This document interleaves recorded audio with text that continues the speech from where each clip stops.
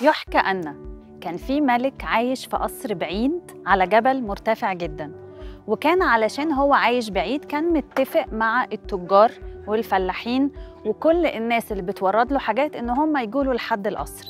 المشكلة اللي كانت موجودة إن الطريق اللي بيوصل لقصر الملك كان فيه حجر كبير سادد الطريق.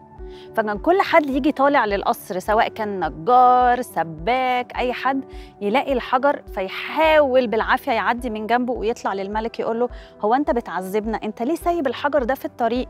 ليه مش بتشيله؟ عدى يوم والتاني والتالت وشهر والتاني والحجر موجود في مكانه ما بيتحركش.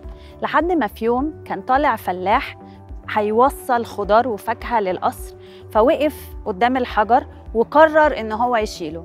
ركن حاجته على جنب وفضل بكل عزمه يزق الحجر بعيد عن الطريق لحد لما فضى الطريق خالص وخلاه سالك وما فيهوش أي مشكلة. رجع عشان ياخد الخضار والفاكهة لقى كيس مليان فلوس وذهب. استغرب قعد يبص حواليه مين اللي حط الكيس ده؟ فتح الكيس لقى جواه رسالة بتقول له علشان إيجابيتك أنا بكافئك. القصة دي اتعلمت منها إنه دايما لو في مشكلة بتقابلني لازم أبص على الجزء الإيجابي فيها. كل ما أنا أبقى إيجابية كل ما ربنا هيكافئني على الإيجابية دي.